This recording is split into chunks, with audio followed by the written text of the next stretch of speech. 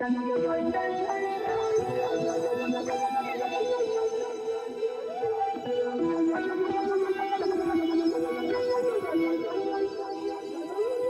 What's up, everybody? It's CMP with Craftmaster Productions and Studio1Tutorials.com. Don't forget to stop by Studio One Tutorials, pick up your premium membership. It is 50 cents a day. One of the benefits of the Studio One Tutorials premium membership now is every type beat video that I do on YouTube, I'm going to be adding the uh, the MIDI files and the audio samples from those lessons into the Studio One private Dropbox for you guys to, you know, go ahead come back to uh, get the arrangements from get the you know get the samples get the sounds and have and start building up a uh, you know a MIDI library. And why that is important is imagine if you had um, you know all these tutorials on how to make this type of beat this type of beat this type of beat. And then when you wanted to go back and do it you could just drag the MIDI from the drums of this type of beat. And then all you got to do is change a couple things put your samples on top of it boom now you're a tight beat factory. But anyway what I want to show you guys today is um, this is a video I've been ducking for a while because I just I just don't understand why you guys want to see it. I've done this video like 14 times and I'm going to do it again. Um, this is going to be uh, my you know my current template. I for the life of me I don't understand why this interests you guys so much, but it does. So as you can see when I uh, when I go to click new song, um, all of my user templates are up, right? So I have 1, 2, 3, 4, 5, 6, 7, 8, 9, 10, 11, 12, 13, 14, 15 templates that I work off. 15. I don't have one template that I work off of all the time. Um, these two templates are for like Latin trap. This template is for is for um, creating drums. This template is for using the MPC Live. This one's for using Maschine. Uh, Mixbus template is for mixing. Um, this template is uh, making trap with Sound Oracle drums. Uh, these are two these are two arrangement templates that I have. This was for like six nine type beats. Uh, this one, thanks Davey. This is my current like go-to template. I have my trap template, and then Ultra Nova is the template I use when I'm using outboard synths. So um, the whole reason why I do not, and do not ask me, do not put it in the comments. I will mute you from my channel forever. Don't do this. The reason why I do not share these templates with you is because um and maybe you know and maybe i'm maybe i'm not a smart guy for doing this maybe i'm overestimating people but the whole point of this is to show you guys how to make templates so you can make your own templates. That's the that's the whole point of it. Um, because as you can see in my workflow, the ability to make templates is very important. So um, one thing you want to you want to keep in mind is that when you create a template, uh, and it, before you guys hit my email talking about I made a template and I can't find it anymore, please help. Like you have to make sure that you uh, have user template selected because you're a user, you're not a style, right? And you're not an interface either. You're a user. So that's that's where all your templates are going to be stored. So um, this is my this is probably my most used template. I don't really make beats inside of Studio One anymore. I use the um, you know, I'm I'm using the MPC right now for that. Uh, what I do create a lot inside of Studio One is loops and whatnot. So I have I have a certain sound set, a certain template um, that that I use off of that, and we were bringing it up right now. If uh if ozone if ozone eight agrees, and it did.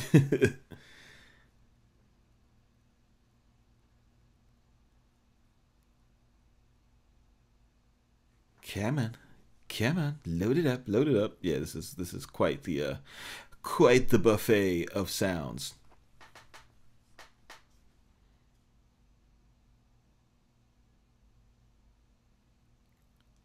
Oh, it's coming. I could. Right, here it is. Bam. Okay. So one thing that you'll notice that's, that's, that's that is different from uh from my last template tutorial is when when when you open up the um the mixer in the arrange window now I have I have everything packed into folders. And that's because with my with my template, um, if I did not have everything packed into folders, this is it. This is this is the template fully exposed. You know, you can't even. I mean, dude, look at all these look at all these tracks. You would get you would get lost in this. And on top of that, I don't always use everything that is within the template, right?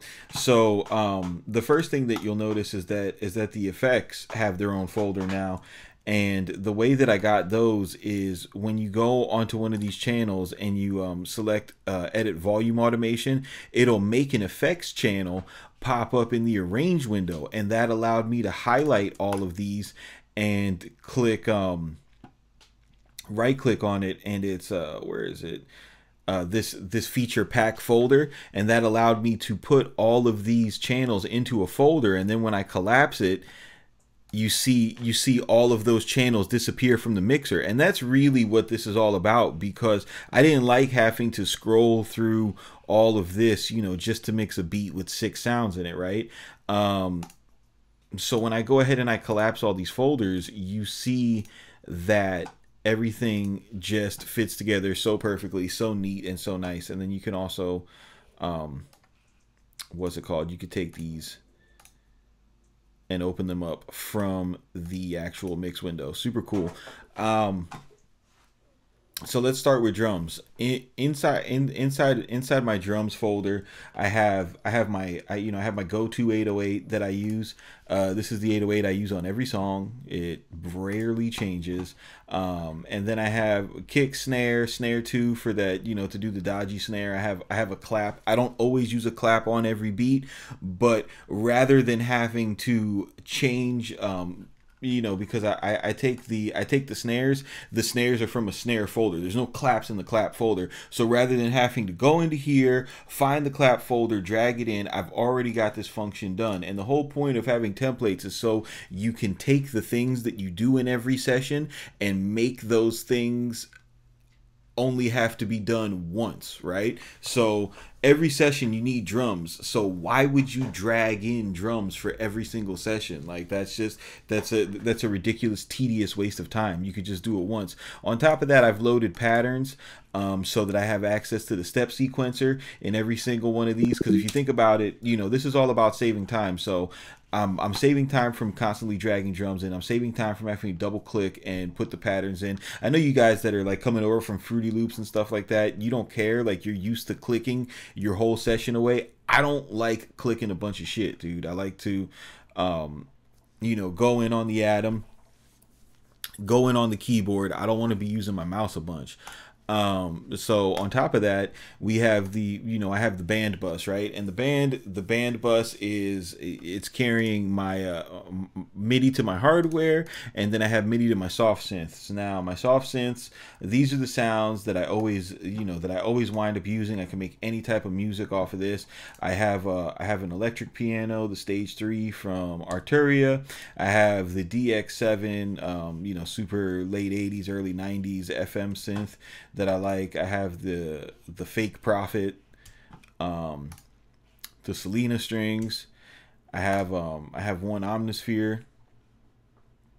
And it's gonna take forever to load.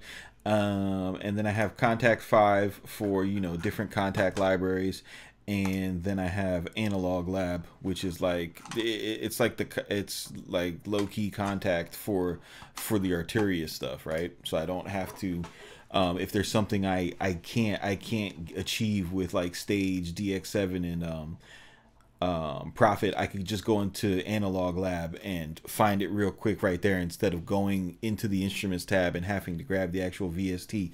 If it comes to a point where, like, say I want to make the whole beat with Omnisphere, you know, I could take I, I could take all of these um, click them, remove tracks and instruments, you know, if this is going to be like just a straight Omnisphere beat. And then I can go ahead, uh, hold down Alt and drag and duplicate these tracks. And the thing that I like about this feature is when I do that, it preserves my routing to my band bus, right? So those are still, those are still all routed into this folder. You know, all these Omnispheres pop up and it's, and it's the same thing. That's really cool. Um, So you can just go ahead and, and you know if you don't if you don't like the way that works, you can just undo all that. The next thing, the next thing that's in my um, that's in my template is is the samplers uh, section. So I have I have two instances of Serato sample loaded at any time um, in case you know just in case I want to sample these plugins um, sitting idle without any audio loaded in the in the DAW it takes up like a very negligible amount of CPU so I just have them there. And one thing that they work great for is if for example if I have um say I have like uh you know say I had a sample that I was using inside of the beat and I wanted to I, I wanted to um extract the MIDI. Um I wanted to extract the MIDI to utilize the ghost note a feature so that I could draw along with the 808 um, these channels is what I is what I would go ahead and drag um, drag the MIDI to because there's no samples loaded on it, which means there's not going to be any audio played, so I don't have to worry about um, you know any type of any type of muting whatsoever. And then I could go up here to my 808 and simply you know find um, find Serato sample 2, bring it up. Now I have the ghost notes to the MIDI track and I could go ahead and trace, you know, and trace my 808s um, to follow uh, to follow along with the sample, right? So that so that it all so that it all like plays in key. Where did my where did my sample go? I was like, hey.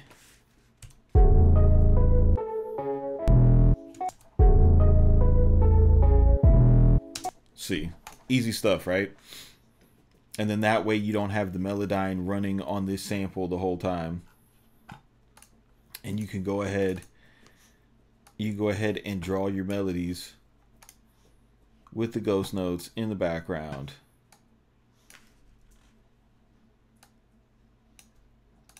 Right super easy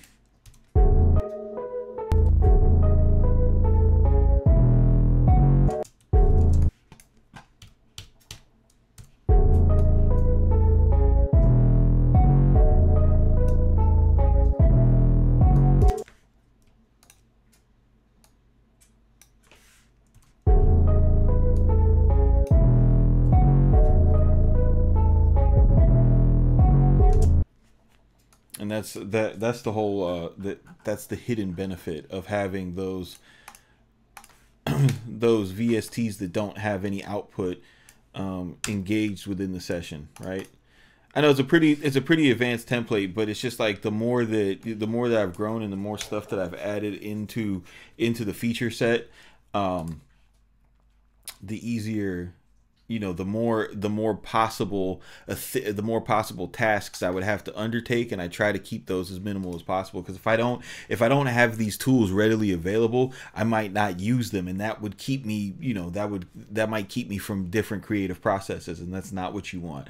Um, another tab that i have is called vox and the vox tab these are different these are different um, sample one libraries i mean not sample one libraries different sample libraries that i've imported into sample one so that i could quickly i could quickly just go through um, the browsing of these because i use a lot of vocal chants in my beats. So i've got my favorite vocal libraries easily be able to switch and audition them and they're all here on deck ready to go. Again a bunch of sample ones that aren't playing samples um, loaded into your session. It's not going to bog down your CPU.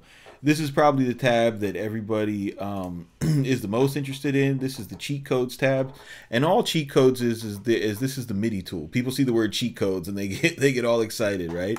So all I've got here is I've got Scaler set up. I've got I've got EZkeys um, for when I want to use that. I've got Cthulhu for when I want to use that. And then I have Loopcloud um, whenever I want to, you know, monitor something that I'm playing from uh, Loopmasters. Easy stuff. And that is you know that that is the that is the long and short of of the template. This is my current template. This is what i'm using. It enables me to you know if i want to do sound design i could do sound design. If i want to if i want to create loops i can create loops. If i want to create full beats i can create full beats.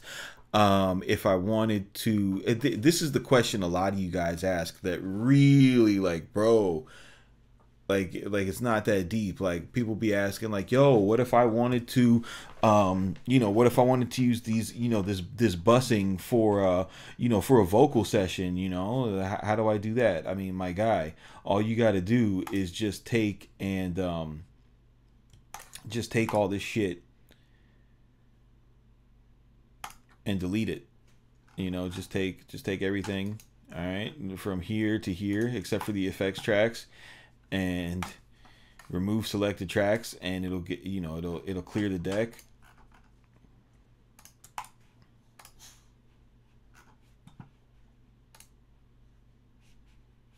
And then let me see let me see let me see. Then you're gonna have to you know remove the instruments.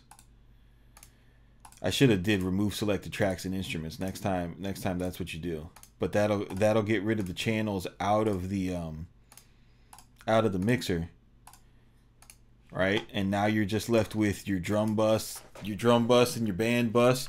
And you know, if you need a if you need a vocal bus and you don't have one, then just create it, route it to your mix bus, and then and then here you have a vocal mixing template. And then you just go to File, um, Save as Template, and name it Vocal Template. Right, and then you're done you know and then you got vocal template. Like this is all this is all very this is all very basic straightforward stuff guys. So this is cmp with craftmaster production studio one tutorials.com you guys keep it simple. Do not be basic and we will see you on the next one